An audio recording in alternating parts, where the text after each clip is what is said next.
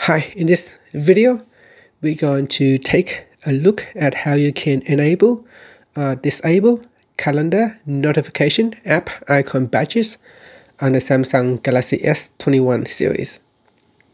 Now first, let's go back to the home screen by tapping on the home key at the bottom of the screen. And then we're going to swipe up to go into the app screen and tap on the calendar app in Calendar, tap on the menu key at the top and then tap on the settings button. Next, you want to go down and tap on alert style and then tap on short sound.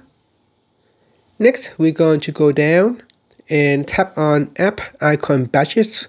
So tap on the switch to turn it on or turn it off. And that's it. Finally, you can tap on the home key to go back to your home screen. And that's it. Thank you for watching this video. Please subscribe to my channel for more videos.